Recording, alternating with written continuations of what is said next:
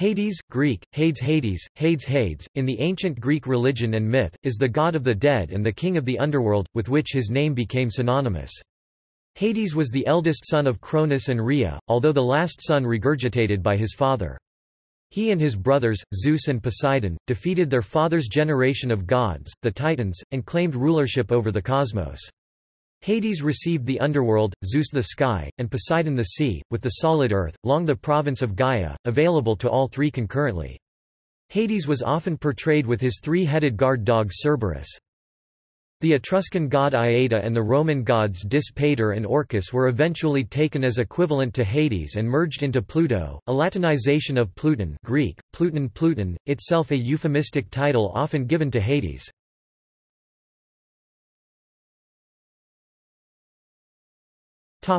Name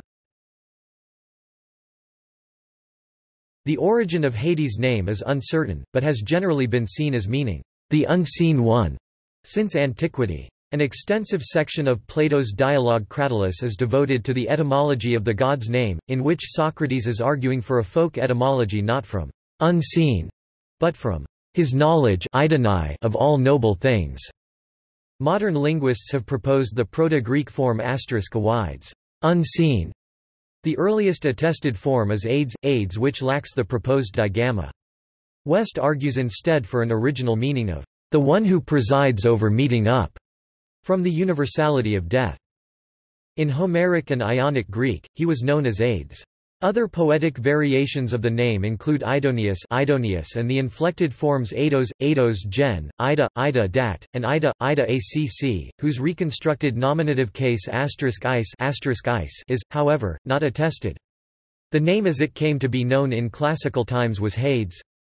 Later the iota became silent, then a subscript marking, Hades and finally omitted entirely, Perhaps from fear of pronouncing his name, around the 5th century BC, the Greeks started referring to Hades as Pluton, Pluton, Pluton with a root meaning, wealthy.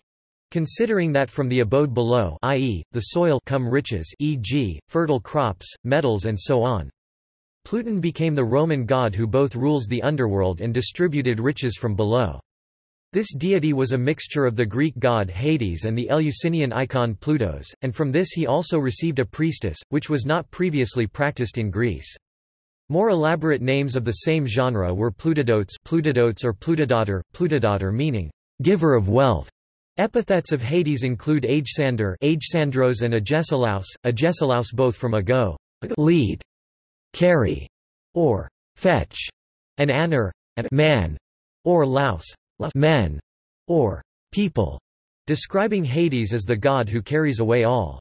Nicander uses the form Hagesilaus, Hagesilaus he was also referred to as Zeus Katachthonios, Zeus Katachthonios meaning, the Zeus of the underworld, by those avoiding his actual name, as he had complete control over the underworld.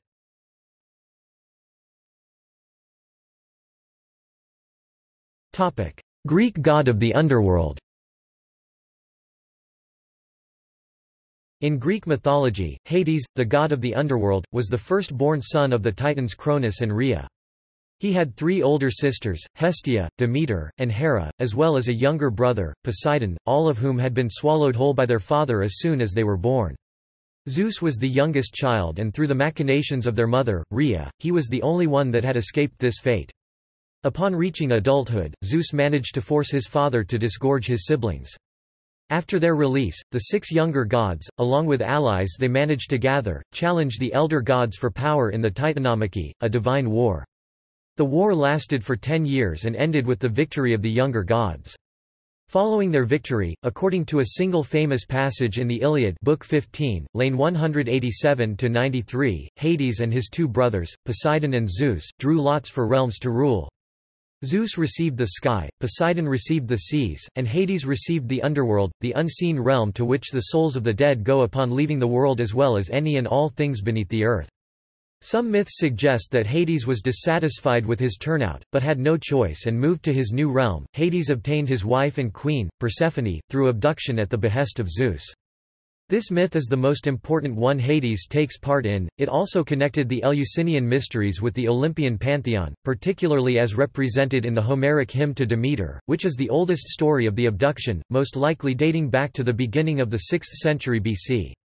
Helios told the grieving Demeter that Hades was not unworthy as a consort for Persephone, Aidoneus, the ruler of many, is no unfitting husband among the deathless gods for your child, being your own brother and born of the same stock. Also, for honor, he has that third share which he received when division was made at the first, and is appointed lord of those among whom he dwells. Despite modern connotations of death as evil, Hades was actually more altruistically inclined in mythology. Hades was often portrayed as passive rather than evil, his role was often maintaining relative balance.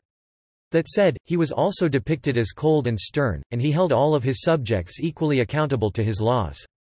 Any other individual aspects of his personality are not given, as Greeks refrained from giving him much thought to avoid attracting his attention. Hades ruled the dead, assisted by others over whom he had complete authority. The house of Hades was described as full of guests, though he rarely left the underworld. He cared little about what happened in the world above, as his primary attention was ensuring none of his subjects ever left. He strictly forbade his subjects to leave his domain and would become quite enraged when anyone tried to leave, or if someone tried to steal the souls from his realm. His wrath was equally terrible for anyone who tried to cheat death or otherwise crossed him, as Sisyphus and Pirithous found out to their sorrow. While usually indifferent to his subjects, Hades was very focused on the punishment of these two people, particularly Pirithous, as he entered the underworld in an attempt to steal Persephone for himself, and consequently was forced onto the chair of forgetfulness. Another myth is about the Greek god Asclepius who was originally a demigod, son of Apollo and Coronis, a Thessalian princess. During his lifetime, he became a famous and talented physician, who eventually was able to bring the dead back to life. Feeling cheated, Pluton persuaded Zeus to kill him with a thunderbolt. After his death, he was brought to Olympus where he became a god.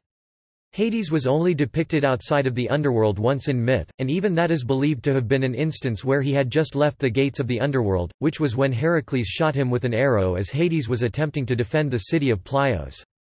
After he was shot, however, he traveled to Olympus to heal.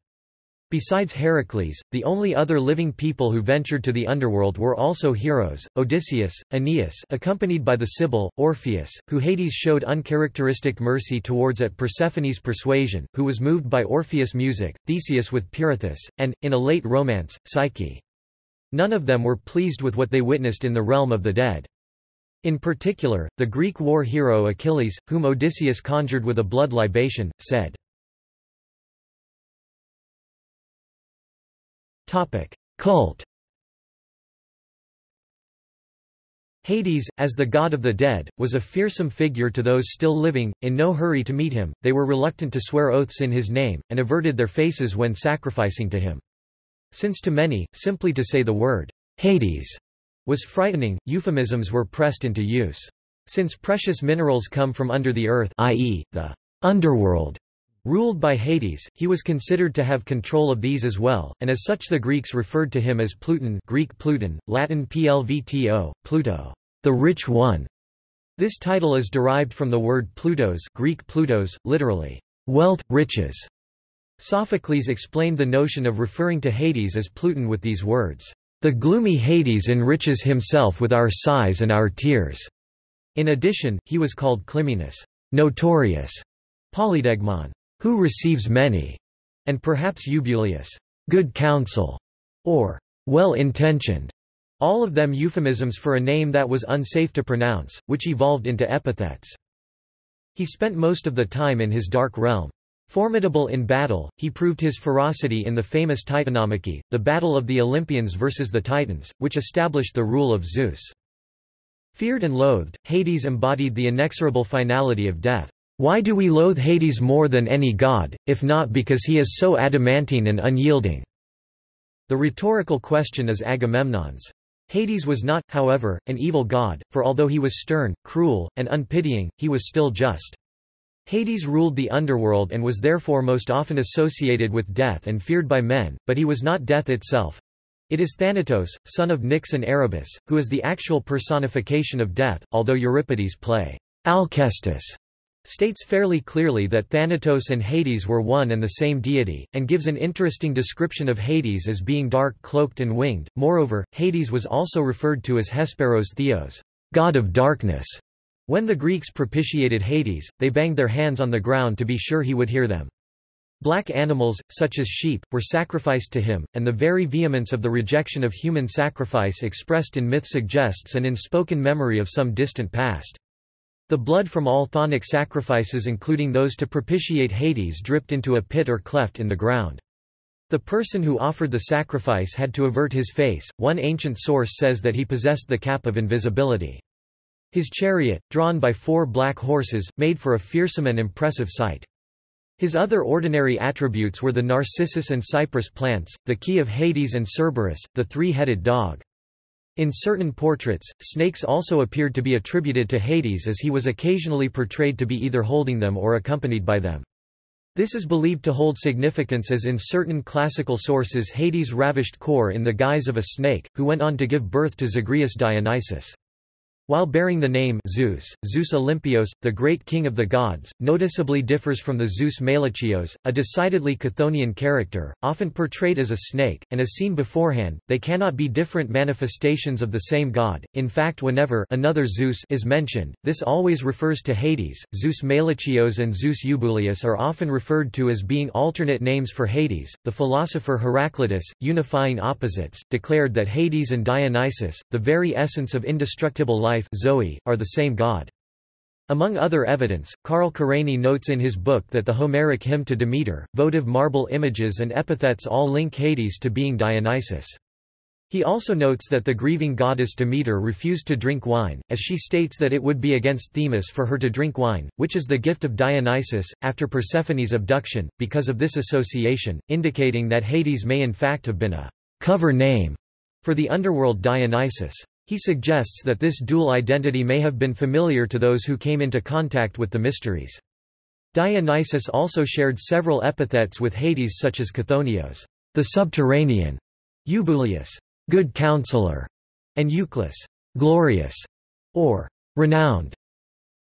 Evidence for occult connection is quite extensive, particularly in southern Italy, especially when considering the death symbolism included in Dionysian worship. Statues of Dionysus found in the Plutonian at Eleusis gives further evidence as the statue bears a striking resemblance to the statue of Eubuleus also known as the youthful depiction of the Lord of the Underworld.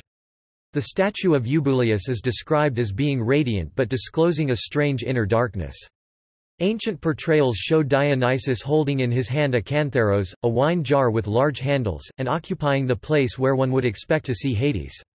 Archaic artist Xenocles portrayed on one side of a vase, Zeus, Poseidon and Hades, each with his emblems of power, with Hades' head turned back to front and, on the other side, Dionysus striding forward to meet his bride Persephone, with a cantharos in his hand, against a background of grapes. Both Hades and Dionysus were associated with a divine tripartite deity with Zeus. The Orphics in particular believed that Zeus and Hades were the same deity and portrayed them as such. Zeus was portrayed as having an incarnation in the underworld identifying him as literally being Hades and leading to Zeus and Hades essentially being two representations and different facets of the same god and extended divine power. This nature and aspect of Hades and Zeus displayed in the Orphic stories is the explanation for why both Hades and Zeus are considered to be the father of Melinoe and Zagreus. The role of unifying Hades, Zeus and Dionysus as a single tripartite god was used to represent the birth, death and resurrection of a deity and to unify the shining realm of Zeus and the dark realm of Hades that lay beneath the earth.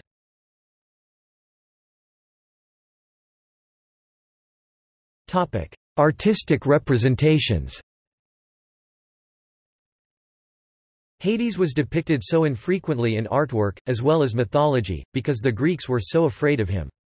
His artistic representations, which are generally found in archaic pottery, are not even concretely thought of as the deity, however at this point in time it is heavily believed that the figures illustrated are indeed Hades. He was later presented in the classical arts in the depictions of the rape of Persephone. Within these illustrations, Hades was often young, yet he was also shown as varying ages in other works. Due to this lack of depictions, there weren't very strict guidelines when representing the deity. On pottery, he has a dark beard and is presented as a stately figure on an ebony throne. His attributes in art include a scepter, cornucopia, rooster, and a key, which both represented his control over the underworld and acted as a reminder that the gates of the underworld were always locked so that souls could not leave. Even if the doors were open, Cerberus, the three-headed guard dog of the underworld, ensured that while all souls were allowed to enter into the underworld freely, none could ever escape. The dog is often portrayed next to the god as a means of easy identification, since no other deity relates to it so directly. Sometimes, artists painted Hades as looking away from the other gods, as he was disliked by them as well as humans. As Pluton, he was regarded in a more positive light. He holds a cornucopia, representing the gifts he bestows upon people as well as fertility, which he becomes connected to.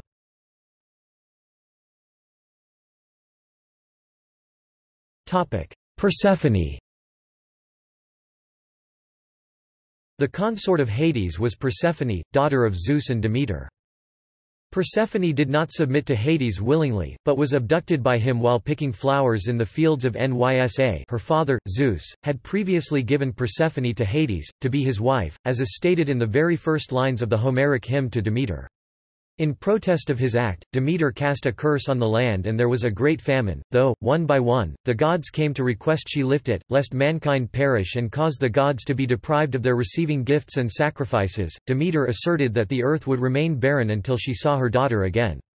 Zeus then sends for his son, Hermes, and instructs him to go down to the underworld in hopes that he may be able to convince Hades to allow Persephone to return to earth, so that Demeter might see Persephone and cause the famine to stop. Hermes obeys and goes down to Hades' realm, wherein he finds Hades seated upon a couch, Persephone seated next to him.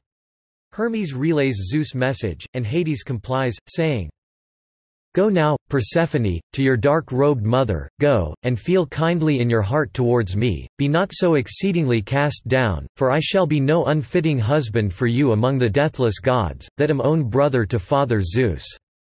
And while you are here, you shall rule all that lives and moves and shall have the greatest rights among the deathless gods, those who defraud you and do not appease your power with offerings, reverently performing rites and paying fit gifts, shall be punished for evermore. Afterwards, Hades readies his chariot, but not before he secretly gives Persephone a pomegranate seed to eat. Hermes takes the reins, and he and Persephone make their way to the earth above, coming to a halt in front of Demeter's temple at Eleusis, where the goddess has been waiting. Demeter and Persephone run towards each other and embrace one another, happy that they are reunited. Demeter, however, suspects that Persephone may have eaten food while down in the underworld, and so she questions Persephone, saying, my child, tell me, surely you have not tasted any food while you were below? Speak out and hide nothing, but let us both know. For if you have not, you shall come back from loathly Hades and live with me and your father, the dark-clouded son of Kronos and be honored by all the deathless gods, but if you have tasted food, you must go back again beneath the secret places of the earth, there to dwell a third part of the seasons every year, yet for the two parts you shall be with me and the other deathless gods. But when the earth shall bloom with the fragrant flowers of spring in every kind, then from the realm of darkness and gloom thou shalt come up once more to be a wonder for gods and mortal men. And now tell me how he rapt you away to the realm of darkness and gloom, and by what trick did the strong host of many beguile you? Persephone does admit that she ate the food of the dead, as she tells Demeter that Hades gave her a pomegranate seed and forced her to eat it. Persephone's eating the pomegranate seed binds her to Hades and the underworld, much to the dismay of Demeter. Zeus, however, had previously proposed a compromise, to which all parties had agreed. Of the year, Persephone would spend one third with her husband. It is during this time, when Persephone is down in the underworld with her husband, that winter falls upon the earth, an aspect of sadness and mourning.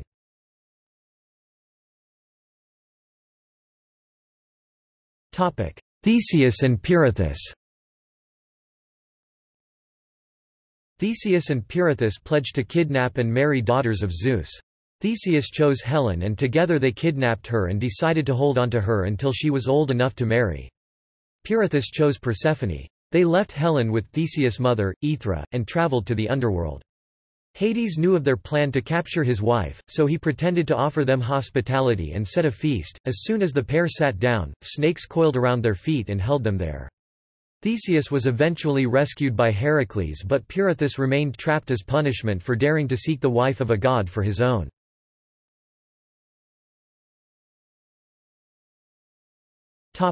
Heracles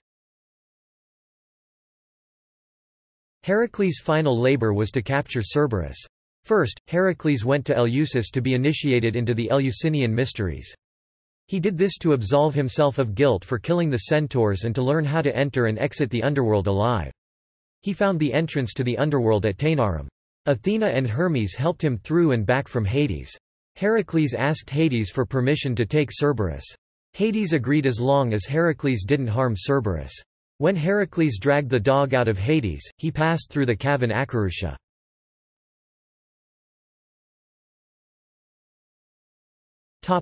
Minthe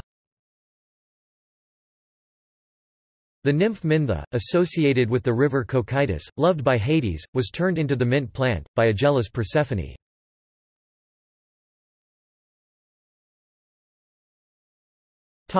Realm of Hades In older Greek myths, the realm of Hades is the misty and gloomy abode of the dead also called Erebus where all mortals go when they die. Very few mortals could leave Hades once they entered. The exceptions, Heracles and Theseus, are heroic. Even Odysseus in his Nekyia Odyssey, she calls up the spirits of the departed, rather than descend to them. Later Greek philosophy introduced the idea that all mortals are judged after death and are either rewarded or cursed. There were several sections of the realm of Hades, including Elysium, the Asphodel Meadows, and Tartarus. Greek mythographers were not perfectly consistent about the geography of the afterlife.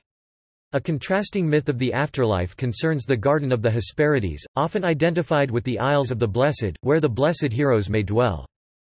In Roman mythology, the entrance to the underworld located at Avernus, a crater near Cumae, was the route Aeneas used to descend to the realm of the dead.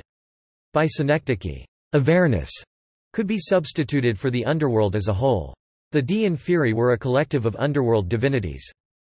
For Hellenes, the deceased entered the underworld by crossing the Styx, ferried across by Charon Care on, who charged an obolus, a small coin for passage placed in the mouth of the deceased by pious relatives. Paupers and the friendless gathered for a hundred years on the near shore according to Book V of Virgil's Aeneid.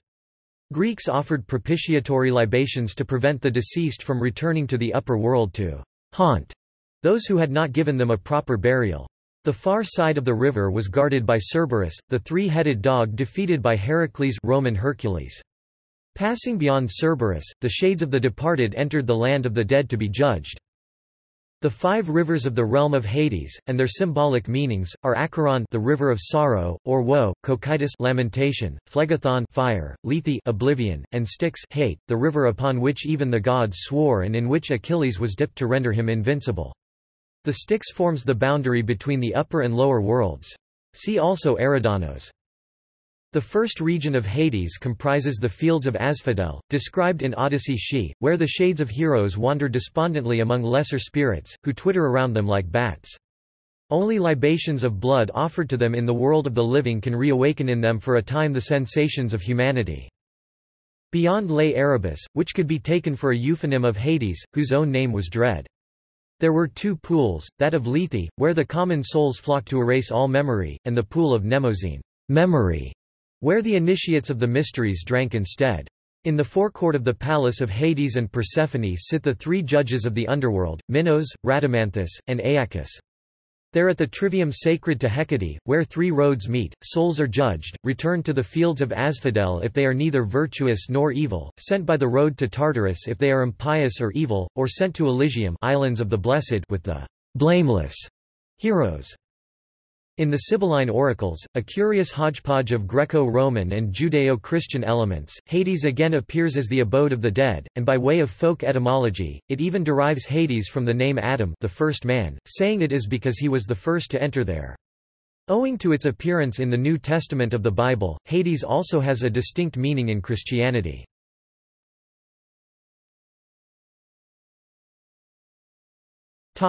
Genealogy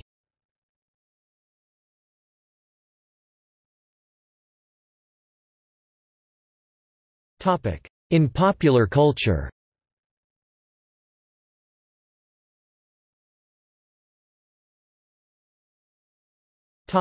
See also. Notes